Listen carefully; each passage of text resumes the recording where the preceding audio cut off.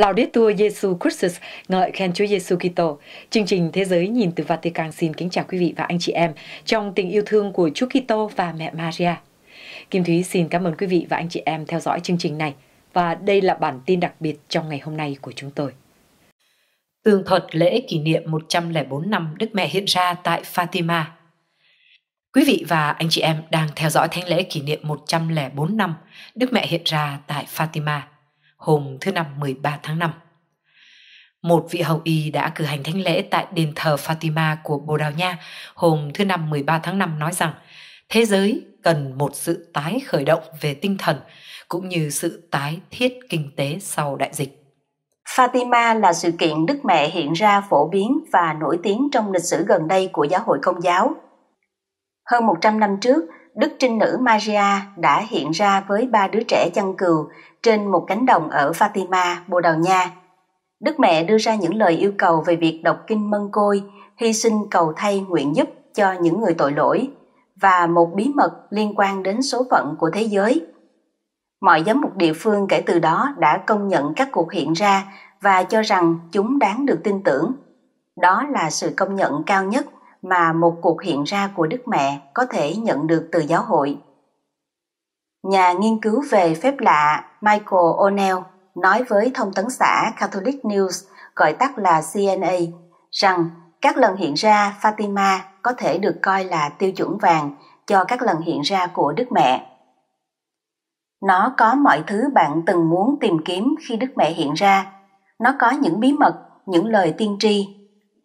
Bạn cũng có một ngày lễ trong lịch phụng vụ chung, sự chấp thuận của giám mục địa phương và của mọi đức giáo hoàng sau đó. Các thị nhân được tuyên thánh và nhà thờ được xây dựng. Vì vậy tất cả mọi dấu hiệu của một cuộc hiện ra của Đức Mẹ đều có ở đó. Onen đã ghi lại các chi tiết về Fatima, các lần hiện ra khác của Đức Mẹ và tất cả những điều kỳ diệu trên trang web của ông. Năm 2017, Đức Thánh Cha Francisco đã đến thăm địa điểm hiện ra vào ngày 12 đến 13 tháng 5, kỷ niệm 100 năm lần hiện ra đầu tiên của Đức Mẹ ở Fatima. Chuyến thăm bao gồm việc tuyên thánh cho hai trong số những thị nhân trẻ tuổi, là những người đã chết chỉ vài năm sau khi được thị kiến. Mặc dù hơn 100 năm đã trôi qua, những thông điệp của Fatima ngày nay vẫn phù hợp như những gì chúng có vào năm 1917, O'Neill nói. Bản chất của thông điệp là một lời kêu gọi hoán cải và đó là điều quan trọng trong cuộc sống của chúng ta ở thời hiện đại, hệt như khi Đức Mẹ Maria hiện ra vào năm 1917. Bắt đầu vào thế kỷ thứ 18, dưới thời của chính khách Marquis de Bombay làn sóng chống công giáo lại bùng phát trở lại sau khi nền đệ nhất Cộng hòa Bồ Đào Nha được thành lập vào năm 1910. Các nhà thờ và trường học công giáo đã bị chính quyền tịch thu. Nhà nước ra lệnh cấm mặc tu phục giáo sĩ ở nơi công cộng, cấm rung chuông nhà thờ và tổ chức các lễ hội tôn giáo nổi tiếng. Trong khoảng thời gian từ năm 1911 đến năm 1916, gần 2.000 linh mục, tu sĩ và nữ tu sĩ đã bị giết bởi các nhóm chống công giáo. Đây là bối cảnh quốc gia Bồ Đào Nha khi Đức Trinh Nữ Maria hiện ra với ba đứa trẻ chăn cừu ở Fatima vào năm 1917 và đưa ra những thông điệp về chiến tranh, hòa bình, đau khổ và sự hoán cải. Một thiên thần báo tin Đức Maria sẽ đến. Vào mùa hè năm 1916, Lucia dos Santos, người con út trong một gia đình có 7 người con, bắt đầu chăn bầy cừu của gia đình mình cùng với ba người bạn của cô là Teresa Matias, chị gái Maria Rosa và Maria Justino. Trong thời gian này, một thiên thần đã hiện ra trước các cô gái ba lần khác nhau khi họ đang lần hạt mân côi trên cánh đồng, nhưng không nói với họ một lời nào. Mẹ của Lucia bác bỏ chuyện này vì cho là chuyện vô lý của trẻ con. Một thời gian sau, Lucia đang chăn cừu với hai người em họ của mình, Francisco và Jacinta Mato. Một ngày nọ, vì háo hức chơi, lũ trẻ lần chuỗi mân côi vội vàng trong giờ ăn trưa của chúng bằng cách chỉ nói tên những lời cầu nguyện trên mỗi hạt. Ngay sau khi họ bắt đầu chơi trò chơi, một thiên thần hiện ra. Lần này thiên thần nói chuyện với bọn trẻ. Trong ba lần hiện ra khác nữa, thiên thần yêu cầu các em cầu nguyện và hy sinh. Thiên thần nói với họ rằng Ngài là thiên thần hộ mệnh của Bồ Đào Nha và thông báo với họ rằng Chúa Giêsu và Đức Maria có kế hoạch của lòng thương xót cho họ. Trong lần viếng thăm cuối cùng, Ngài đã cho các em rước lễ. Điều đó khá độc đáo, O'Neill nói. Đã có hàng nghìn trình thuật về các thiên thần tự hiện ra, nhưng là một điều hiếm khi các ngài đến chỉ để loan báo sự hiện ra của Đức Maria. Lần hiện ra đầu tiên của Đức Maria Năm sau, vào ngày 5 tháng 5 năm 1917, Đức Giáo Hoàng Benedicto thứ 15 đã viết một bức thư mục vụ cho thế giới, xin các tín hữu dâng lên Đức Maria những lời nguyện xin tha thiết để cảm động sự dịu dàng và lòng nhân từ trí thánh của mẹ, sao cho hòa bình có thể đạt được trong một thế giới đang bị kích động mạnh của chúng ta. Tám ngày sau, Đức Maria hiện ra lần đầu tiên vào ngày 13 tháng 5 với ba đứa trẻ chăn cừu, Lucia 10 tuổi và hai em họ của cô, Francisco và Jacinta Mato 9 và 7 tuổi. Đức mẹ hiện ra như một quý bà mặc đồ trắng, rực rỡ hơn cả mặt trời. Trên ngọn cây nhỏ trong cánh đồng trống có tên là Cova de Iria ở vùng nông thôn của thị trấn nhỏ Fatima, luôn trung thành với đức tin công giáo. Và Đức Mẹ yêu cầu bọn trẻ quay lại chỗ cũ đó vào ngày 13 của tháng tiếp theo. Trong khi không tiết lộ tên họ của mình ngay lập tức, người phụ nữ đã nói với bọn trẻ Ta đến từ thiên đàng. Khi được hỏi, mẹ hứa rằng cả ba đứa trẻ sẽ được lên thiên đàng mặc dù Francisco sẽ phải lần nhiêu trang hạt để đến được đó. Ngoài ba đứa trẻ, không ai có mặt trong lần hiện ra đầu tiên, nhưng khi tin này lan rộng, đám đông tăng lên rất nhanh. Lần hiện ra thứ hai, số phận của những đứa trẻ. Trong lần hiện ra thứ hai vào ngày 13 tháng 6, hàng chục người xem đã làm chứng rằng họ có thể nhìn thấy một đám mây phía trên một ngọn cây, nơi bọn trẻ nhìn thấy Đức Mẹ. Lần này, Đức Mẹ cho các em thấy trái tim vô nhiễm nguyên tội của mẹ bị đâm thủng bởi những chiếc gai tượng trưng cho tội lỗi của nhân loại. Lucia yêu cầu Đức Maria chữa lành cho một người bệnh. Đức Maria nói rằng ơn chữa lành sẽ được ban cho anh ta cùng với ơn hoán cải. Lucia một lần nữa yêu cầu Đức Maria đưa bọn trẻ lên thiên đường và trong khi Đức Maria hứa sẽ sớm đưa Jacinta và Francisco, mẹ nói với Lucia rằng cô còn phải ở trên trái đất một thời gian nữa. Chúa Giêsu muốn tận dụng con để làm cho danh ta được biết đến và yêu mến. Đức Maria nói với Lucia. Ngài muốn thiết lập trên thế giới lòng sùng kính trái tim vô nhiễm nguyên tội của ta. Ta hứa ơn cứu rỗi cho những ai đón nhận điều đó và những linh hồn đó sẽ được Chúa yêu thương như những bông hoa do ta mang đến để tô điểm cho ngai vàng của Ngài. Những đứa trẻ giữ bí mật về hình ảnh của trái tim vô nhiễm nguyên tội trong một thời gian, cho đến khi Lucia trở thành một nữ tù. Đức Maria lại yêu cầu bọn trẻ quay lại vào ngày 13 của tháng sau. Lần hiện ra thứ ba, bí mật vĩ đại được ban cho. Vào ngày 13 tháng 7, Đức Maria tiết lộ những gì đã được gọi là bí mật vĩ đại của Fatima, một bí mật mà Lucia chia thành ba phần và từ từ tiết lộ cho công chúng theo thời gian. Hai phần của bí mật được tiết lộ vào năm 1941, khi Lucia được giám mục địa phương yêu cầu ghi lại hồi ký của cô. Phần còn lại không được tiết lộ cho đến năm 2000. Ban đầu là theo hướng dẫn của Đức Maria và sau đó là hướng dẫn của Tòa Thánh. Đức Maria cũng bảo các em tiếp tục lần chuỗi mân côi hàng ngày. và quay lại cùng một địa điểm vào cùng ngày của tháng tiếp theo. Khi Lucia yêu cầu người phụ nữ tiết lộ danh tính của mình, Đức mẹ lại hứa với những trẻ em rằng mẹ sẽ tiết lộ toàn bộ bản thân vào tháng 10 và thực hiện một phép lạ vào ngày hôm đó cho tất cả mọi người nhìn thấy và tin tưởng. Đức mẹ cũng yêu cầu các em giúp đỡ những người tội lỗi, hãy hy sinh chính mình cho những người tội lỗi và hãy đọc nhiều lần kinh nguyện này, đặc biệt là bất cứ khi nào các con thực hiện một sự hy sinh nào đó.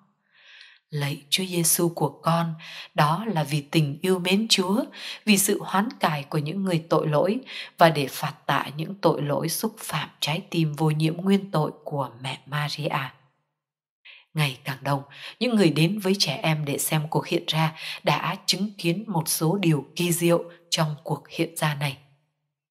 Nhiều người có thể nghe thấy một âm thanh yếu ớt, khó tả, được cho là giọng nói của Đức Maria các nhân chứng cũng kể lại một sự thay đổi trong bầu không khí khi Đức Mẹ hiện ra, bầu trời tối sầm lại và không khí mùa hè nóng ẩm của Bồ Đào Nha bỗng trở nên mát mẻ và dễ chịu. Đám đông cũng nghe thấy một tiếng sét lớn rung chuyển mặt đất vào thời điểm Đức Maria ra đi. Lần hiện ra thứ tư, vụ bắt cóc. Tình cảm bài công giáo vẫn còn phổ biến trong nước cho nên viên thị trường của Fatima đã tỏ ra nghi ngờ về các cuộc hiện ra ngày càng được truyền tụng trong dân gian và đã cố gắng buộc bọn trẻ từ bỏ câu chuyện của họ nhưng không thành công. Vì muốn ngăn lũ trẻ nhìn thấy lần hiện ra thứ tư, Arthur Santos, một người công giáo đã bội giáo và là một nhân vật tam điểm có thế lực, là thị trường địa phương, đã đề nghị bọn trẻ và cha mẹ chúng đi xe hơi của ông ta đến Kova vào ngày 13 tháng 8. Tuy nhiên, hắn ta đã nghĩ ra một mưu mẹo là bỏ rơi cha mẹ chúng giữa đường và chờ bọn trẻ đến dinh thị trưởng ở Villa Nova de Orem, cách cánh đồng Kova hơn 14 km. Tìm cách hối lộ bọn trẻ không thành công, ông ta dọa giết chết chúng bằng dầu sôi và hăm he sẽ nhốt chúng trong phòng giam với những tên tội phạm mặt mày dữ dằn. Tuy nhiên, những đứa trẻ cương quyết không phủ nhận câu chuyện của chúng. Bực bội và lo sợ bị các tín hữu vốn yêu mến các cuộc hiện ra trả đũa. Thị trường đã đưa các em trở lại Fatima sau hai ngày, khiến cha mẹ chúng hết sức vui mừng nhẹ nhõm. Vài ngày sau, Đức Maria hiện ra một cách riêng tư với các trẻ em nhắc lại lời yêu cầu của mẹ là cầu nguyện bằng chuỗi mân côi hàng ngày để đền bù tội lỗi và yêu cầu chúng trở lại vào ngày 13 của tháng tiếp theo. Lần hiện ra thứ năm, một cột mây và một cơn mưa hoa. Thay vì làm nản lòng người xem, vụ bắt cóc vào tháng 8 đã dẫn đến một đám đông thậm chí còn lớn hơn khi Đức Mẹ hiện ra vào tháng 9.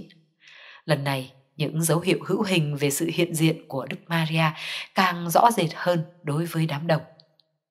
Một số nhân chứng cho biết họ có thể nhìn thấy một quả cầu ánh sáng và sau đó một cột mây cao khoảng 5 mét bên trên ngọn cây nơi Đức Mẹ luôn hiện ra. Nhiều người xem cũng mô tả một trận mưa rào của các vật thể nhỏ màu trắng, được cho là những bông tuyết hoặc các cánh hoa hồng rơi từ trên trời xuống nhưng biến mất trước khi chúng chạm đất. Đức Maria một lần nữa lặp lại lời hứa của mình với lũ trẻ rằng mẹ sẽ trở lại vào tháng sau và sẽ nói với bọn trẻ rằng mẹ là ai và mẹ muốn gì và rằng mẹ sẽ thực hiện một phép lạ để tất cả có thể nhìn thấy và tin tưởng.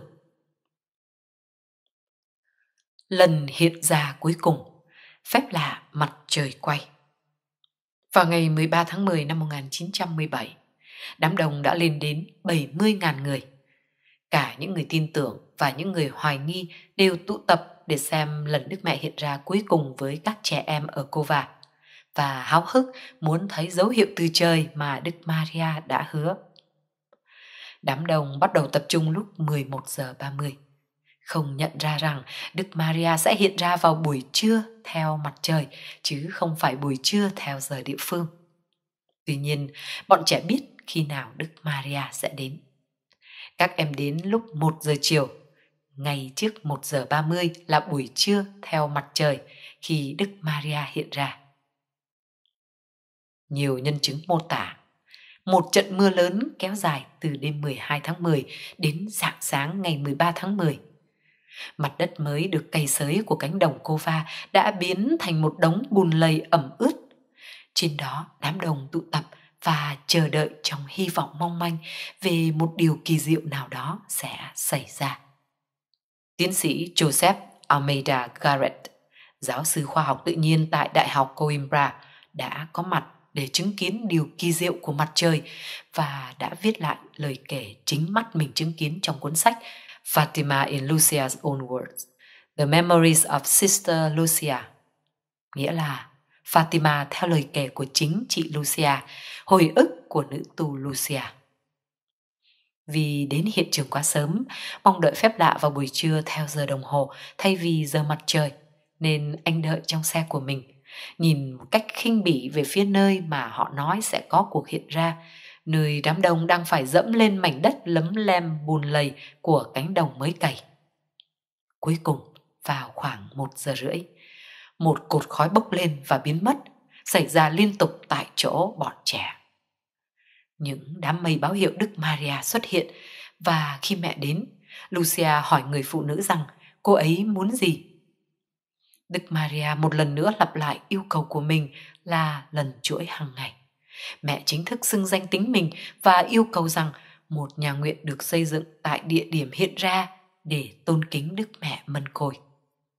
Mẹ cũng hứa rằng chiến tranh sẽ sớm kết thúc và những người lính sẽ được trở về nhà. Mẹ cũng nói rằng mẹ sẽ chữa lành cho một số người mà bọn trẻ đã xin cùng mẹ, nhưng nói rằng mọi người phải sửa đổi cuộc sống của họ và cầu xin sự tha thứ cho những tội lỗi của họ. Lucia kể lại, sau đó Đức Mẹ Mân Côi ra đi và hiện ra trở lại với các trẻ em. Đầu tiên là với Thánh Dư Xe và Hài Nhi Giêsu và sau đó mẹ hiện ra với y phục phù hợp với các tước hiệu khác nhau, cụ thể là Đức Mẹ Sầu Bi và sau đó là Đức Mẹ núi Carmelo. Khi đó Đức Maria chiếu ánh sáng của chính mình lên mặt trời. Mưa tạnh, mây tan và bầu trời quang đãng thu hút sự chú ý của những người đang đứng xem. Tiếp theo là phép lạ mặt trời nhảy múa. Chúng tôi dễ dàng nhìn vào mặt trời, không làm chúng tôi chói mắt. Mặt trời dường như nhấp nháy và tắt theo chiều cách khác nhau. Mặt trời bắn ra những tia sáng theo chiều hướng khác nhau và nhuộm mọi thứ bằng những màu sắc khác nhau. Điều đặc biệt nhất là mặt trời không hề làm tổn thương mắt chúng ta. Mọi thứ đều tĩnh lặng và yên tĩnh. Mọi người đều nhìn lên phía trên. Di Marto, cha của những thị nhân Jacinta và Francisco Marto kể lại. Odia, tờ báo của thủ đô Lisbon của Bồ Đào Nha đưa tin rằng vào giữa trưa nắng giáo, mưa tạnh, bầu trời có màu xám như ngọc trai, chiếu lên khung cảnh khô cằn rộng lớn một thứ ánh sáng kỳ lạ. Mặt trời có một tấm màn mỏng trong suốt để mắt có thể dễ dàng nhìn kỹ vào đó. Tông màu xám đẹp nhất của ngọc trai biến thành một tấm bạc vỡ ra khi những đám mây bị chia cắt và mặt trời bạc được bao bọc trong cùng một thứ ánh sáng xám mỏng manh, được nhìn thấy đang quay cuồng và xoay tít trong vòng tròn của những đám mây vỡ. Mọi người kêu lên và quỳ gối xuống ngay nền đất lầy lội. Ngay cả tờ O một tờ báo bài công giáo của nhóm tam điểm ở Lisbon cũng đã tường thuật phép lạ mặt trời nhảy múa dưới góc nhìn của tổng biên tập tờ báo Avelino de Almeida, người đã tận mắt chứng kiến phép lạ.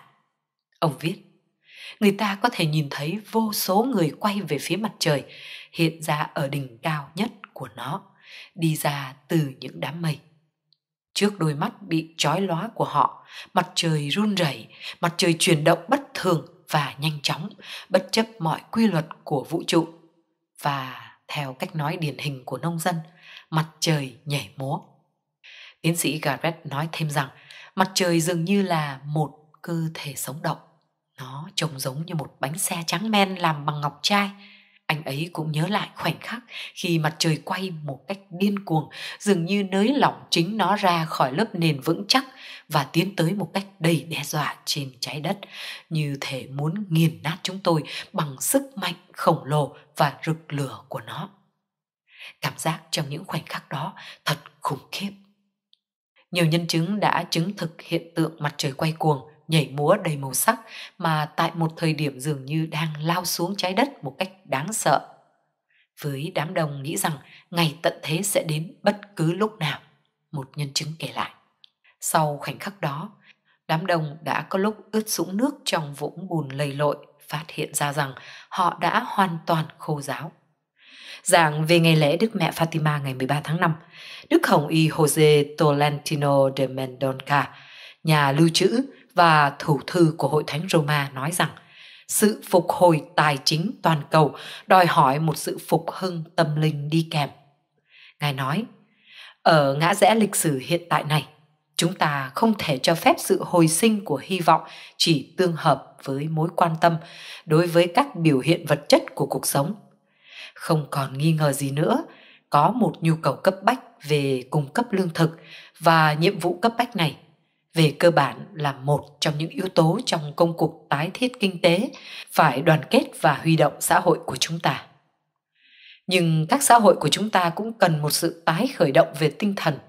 Chúng ta không thể sống được nếu không có lương thực. Nhưng chúng ta không thể sống chỉ nhờ lương thực.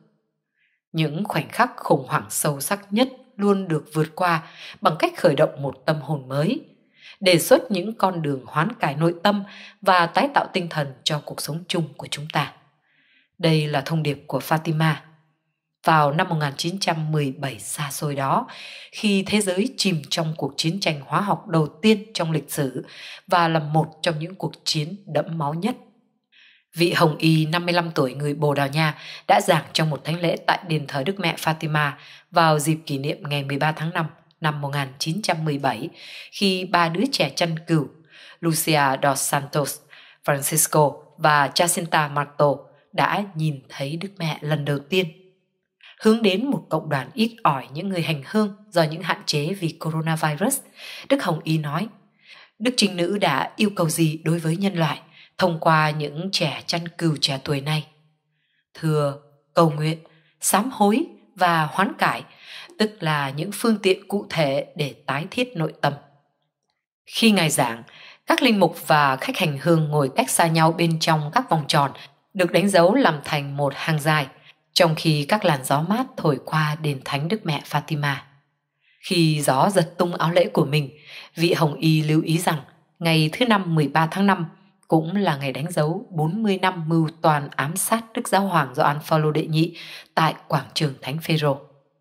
Một năm sau khi vụ việc xảy ra, vào ngày 13 tháng 5 năm 1982, vị giáo hoàng Ba Lan đã đến Bồ Đào Nha để tạ ơn Đức Mẹ Fatima đã cứu sống ngài. Đức Hồng y nói, Cách đây 39 năm, Đức Thánh Cha Gioan Phaolô đệ nhị đã chủ tọa bí tích thánh thể này để tạ ơn Chúa quan phòng tại nơi này mà mẹ Thiên Chúa dường như đã chọn một cách đặc biệt để mạng sống của Ngài đã được cứu trong cuộc tấn công một năm sau đó ở quảng trường Thánh Phêrô ở Roma. Và lời kêu gọi của Đức Gioan Phaolô đệ nhị là người ta nên nhận ra ở Fatima việc chuẩn bị cho một thời điểm thiêng liêng mới. Đề cập đến thông điệp mới nhất của Đức Thánh Cha Francisco, Fratelli Tutti, vị Hồng Y nói rằng việc tái thiết sau đại dịch sẽ đòi hỏi một ý thức sâu sắc về tình huynh đệ. Ngài nói, thế giới đã kiệt quệ bởi đại dịch vẫn đang tiếp diễn này – đòi hỏi mỗi người chúng ta phải cảnh giác và có trách nhiệm không chỉ đói và khát cuộc sống bình thường trở lại nhưng chúng ta cần những tầm nhìn mới những ngữ pháp khác chúng ta cần biết chấp nhận rủi ro để có ước mơ đặc biệt với những người trẻ và cách riêng là những người trẻ Bồ Đào Nha đang chuẩn bị chào đón Ngày Giới Trẻ Thế Giới vào năm 2023. Tôi muốn nói từ Fatima, thay vì sợ hãi, hãy có những ước mơ. Hãy khám phá rằng Chúa là đồng minh của những giấc mơ đẹp nhất của các bạn. Hãy dám mơ về một thế giới tốt đẹp hơn. Hãy nhận ra rằng tương lai phụ thuộc vào phẩm chất và tính nhất quán của những giấc mơ của các bạn. Ngài nói tiếp và cuối cùng tôi hướng về các bạn, những người hành hương thân mến. Và tôi muốn nói với bạn rằng tôi cảm thấy không chỉ gần gũi với tất cả các bạn mà còn thực sự coi tôi là một trong số các bạn. Thông điệp của Fatima nhìn từ bên ngoài có vẻ được định dạng và khắc khổ và nhiều người chỉ nhìn thấy bề mặt của ngôi đền, chỉ thấy biểu hiện kịch tính của bao nhiêu giọt nước mắt, những yêu cầu và những lời hứa. Nhưng những người hành hương đến Fatima trải nghiệm rằng tại đây còn có nhiều điều hơn thế nữa. Đề cập đến bài đọc tin mừng trong thánh lễ, trích từ phúc âm theo thánh Gioan chương 19, từ câu 25 đến câu 27, được công bố bằng nhiều thứ tiếng. Ngài nói, Điều chúng ta cảm nghiệm là chúng ta đến đây bồn chồn, chống vắng, chia rẽ, không thể hòa giải hoặc khát khao. Đến nỗi chúng tôi đến đây đầy hoang mang giống như người con hoang đàng, và Đức Maria đã lấp đầy chúng ta với lòng thương xót, với sự ngọt ngào khó quên với mệnh lệnh yêu thương mà mẹ đã nhận được từ Chúa Giêsu. Hỡi bà, này là con bà. Đây là con cái của Đức Mẹ. Vào năm 2020, lễ kỷ niệm ngày 13 tháng 5 hàng năm tại đền thờ Fatima lần đầu tiên diễn ra mà không có sự hiện diện của những người hành hương do các hạn chế liên quan đến COVID-19. ACD Digital đã tường trình rằng cuộc hành hương kỷ niệm quốc tế năm nay tại Fatima đã bắt đầu vào tối thứ tư với chuỗi hạt mân côi và một đám rước dưới ánh nến khi tượng Đức Mẹ Fatima được rước từ nhà nguyện Đức Mẹ hiện ra đến nhà cầu nguyện ngoài trời. Đức Hồng Y Mendonca, một nhà thơ và nhà thần học đã nhận được chiếc mũ Hồng Y vào năm 2019, sau đó đã chủ trì phụng vụ lời Chúa trước sự chứng kiến của khoảng 7.500 người hành hương. Vào tối thứ năm, đền thờ Đức Mẹ Fatima đã tổ chức cuộc marathon cầu nguyện toàn cầu cho đại dịch sớm kết thúc. Chuỗi mân côi với ý hướng cầu nguyện cho tất cả các tù nhân đã được phát trực tiếp vào lúc 5 giờ chiều giờ địa phương trên trang web của đền thờ và kênh YouTube Vatican News. Kết thúc bài giảng của Ngài, Đức Hồng Y Mendonca nói Chúng ta, những người hành hương luôn đến Fatima Tây không? Nhưng từ Fatima, chúng ta mang theo sự thức tỉnh trong chúng ta một giấc mơ. Fatima dạy chúng ta cách chiếu sáng một thế giới chìm trong bóng tối, có thể là thế giới nhỏ của trái tim chúng ta, có thể là trái tim của thế giới rộng lớn. Cảm ơn Đức Mẹ vì đã biến nơi này thành đòn bẩy của nhân loại chúng ta. Một phòng thí nghiệm không có cửa hay tường, luôn rộng mở để hy vọng trong anh chị em, chúng ta ngợi khen Chúa là đấng cứu chuộc chúng ta khỏi mọi yếu đuối.